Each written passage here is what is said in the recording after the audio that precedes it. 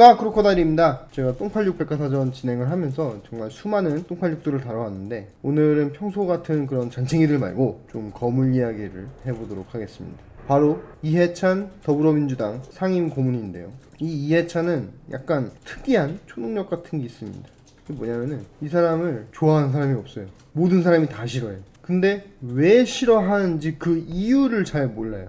생긴 게 싫으냐? 뭐 그건 아닙니다. 그렇게 막 호감형 얼굴은 아닌데 이 사람이 정치인으로서 했던 어떤 수많은 악행과 막 실책 이런 것들이 있는데 정작 이해찬이 뭘 했냐라고 물어보면은 아무도 이거에 대해서 대답을 못합니다. 왜냐? 이게 이해찬의 특수 능력인데 뭔 삽질을 했는지 막 잘 기억이 안 나요. 뭔가 이 기억은 다 지워지고 느낌만 남은 거지. 그래서 뭔가 흑막 같은 거 아주 특화돼 있는 캐릭터인데 그래서 이 지금 더불어민주당 상임 고문의 뭐 원로, 총대장 뭐 약간 이런 이미지는 다 갖고 있는데 왜 원로고 이 사람이 큰 형님인지는 딱히 떠오르는 게 없잖아요. 민주당원들도 이걸 잘 모릅니다. 그냥 선거 때 되면은 뭔가 이해찬이 해줘야 된다. 뭐 약간 이런 느낌만 있는 거죠. 그래서 지금도 이재명이 지금 분위기가 별로 안 좋으니까 지금 자꾸 옆에서 이해찬이 등판을 해가지고 이재명을 도와야 된다. 뭐 이런 식으로 지금 불을 떼는 사람들이 많은 거예요. 근데 제가 봤을 때는 이해찬이 이미 이재명을 물심양면으로 돕고 있는데 너무 흑막이어가지고 뭘 돕고 있는지도 베일에 쌓여져 있는 것 같다. 그래서 오늘은 제가 이해찬이 어떤 사람인가에 대해서 확실하게 가르쳐드리는 그런 시간을 갖도록 하겠습니다.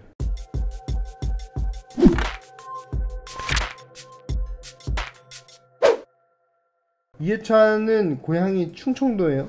아버지가 면장을 해가지고 넉넉한 집안에서 자랐습니다. 당시 공부도 좀 해가지고 1972년도에 서울대 사회학과에 입학을 하죠. 운동권 엘리트 코스로 들어가게 됩니다. 당시에는 뭐 이렇게 시골에서 서울대생 나오면은 막 현수막도 걸고 막 동네 사람들 얼마나 좋아하겠어요. 근데 하필이면 그 1972년 10월에 박정희 대통령이 뭘 했죠? 10월 유신을 선포해 버립니다.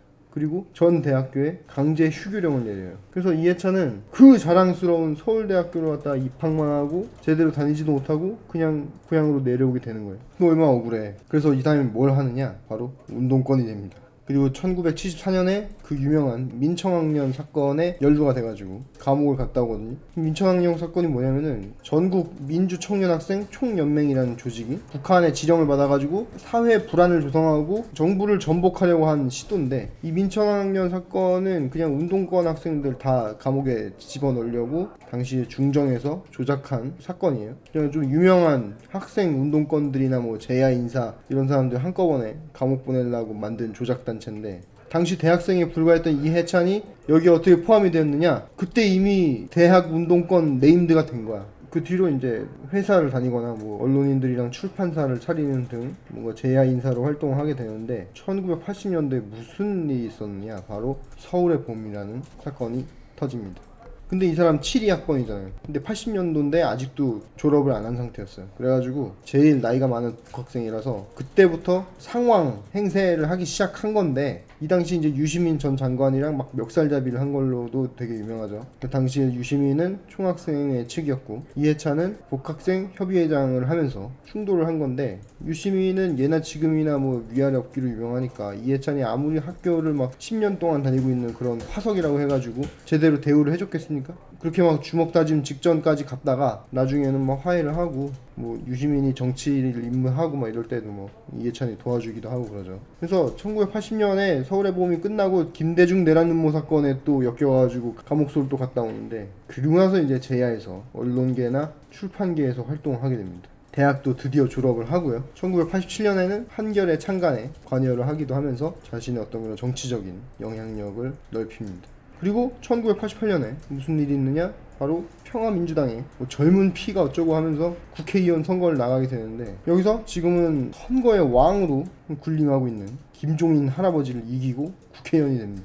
그래서 지금 여당 야당에서 선거를 지휘할 수 있는 뭐 지휘관으로 꼽히는 사람이 이해찬이랑 김종인이잖아요. 이 선거가 어떻게 보자면은 그 추후 20년 동안의 그 선거판에 뭔가 전초전 그런 거였다고 봐야죠. 근데 또 이해찬이 막 김대중을 막 그렇게까지 좋아한 것도 아니고 오히려 이때부터 노무현 같은 막 꼬마 민주당 계열이랑 교류를 하면서 친노의 입지를 굳혀가기 시작합니다. 그래서 이 시기가 바로 이해찬이 유시민을 비서로 채용하고 정치에 입문시킨 시기인데 그 유시민 편 보시면 아시겠지만은 유시민은 김대중 킬러예요. 김대중을 엄청나게 비판을 잘하거든요. 그걸 누굴 보고 배웠겠습니까? 이해찬이 다 그런 거 예? 보고 유시민을 또 발탁해가지고 쓰고 그런 거예요. 김대중한테 붙어서 정치를 시작했지만 김대중한테 이게 빨대를 꽂고 양분을 빨면서 친노의 씨앗으로 자라나기 시작한 거죠. 그러면서 이제 김대중 캠프 들어가서 DJP 연합 만드는데 참여를 한다든가 해가지고 뭐 김대중이 대통령이 되는데 혁혁한 공을 세웠다 뭐 이런 평가를 받으면서 이때부터 이해찬이 막후의 실력자, 어, 선거 전문가 이런 이미지를 만들어가기 시작한 거예요. 근데 그냥 선거 전문가만 하면 되는데 갑자기 막 교육 전문가 행세를 하면서 김대중 정부에서 교육부 장관 하게 되는데 제가 딱 그 이해찬 세대거든요. 내가 이해찬 2세대고 당시에 뭐 하나만 잘하면은 대학에 갈 수 있다. 뭐 이런 주장을 하면서 막 수시를 만들고 내신 반영하고 막 수행 평가를 하고 막 이런 거막 복잡한 거 만들어 가지고 당시 입시 제도를 막 뒤흔드는 바람에 진짜 막 대혼란의 시기가 왔었습니다. 당시 수험생들의 이야기를 들어보면 진짜 hell of hell이죠. 근데 이런 식으로 이제 교육 제도를 개편하면 당연히 반대를 하겠죠, 사람들이. 근데 이 반대 아랑곳하지도 않고 그냥 막 불도저처럼 그냥 밀어붙여가지고 결국 다 해버립니다. 근데 왜 이렇게까지 하나 사람들이 막 의아해하기도 했는데 당시에 이해찬 딸이 막 83년생이어가지고 딸을 서울대 보내려고 뭐 수시를 만들었다 막 이런 소문까지 돌았었습니다. 그 실제로 이해찬 딸은 숭실대를 나왔는데 당시 얼마나 논란이 있었는지 볼 수 있는 그런 에피소드죠. 그리고 잘못하기만 했냐 이해찬이 잘한 것도 있습니다. 노무현 정권에서 이제 총리로 일을 하게 됐는데 당시에 골프라고 하면은 이 특권층들의 귀족 스포츠 뭐 이런 이미지가 있었어요. 그래서 우리나라에는 뭐 골프장도 몇 개 없고 뭐 고위층들의 막 골프 문화가 뭐 문제가 되는 그런 시기였는데 이해찬은 당당해 그냥 이 골프장을 찾아가지고 골프를 치면서 국가의 대소사는 그냥 무조건 다 골프장에서 치는 그런 호연지기를 보여줬습니다. 2005년도에 강원도에서 대형 산불이 나가지고 유명 사찰인 낙산사가 불타고 보물로 지정돼 있던 낙산사 동종이 녹아서 없어진 적이 있는데 국무조정실 직원들 데리고 나서 골프 행사를 갔어요. 산불이 나건 홍수가 나건 이 해차는 무조건 골프장에 있습니다. 국가 기념식 그것도 골프장에서 해야 됩니다. 2006년 3월 1일 3일절 기념식이 이거 국가 행사거든요. 이걸 세종문화회관에서 진행을 했는데 여기가 골프장이 아니니까 이해찬이 안 가버렸어요. 그리고 그냥 골프를 치러 갑니다. 그것도 혼자만 가는 게 아니고 꼭 주변에 고위 공무원 막 정치인 막 꼭 다 데리고 다니면서 우리나라의 골프 대중화에 앞장을 선 정치인이다. 이런 평가를 받았습니다.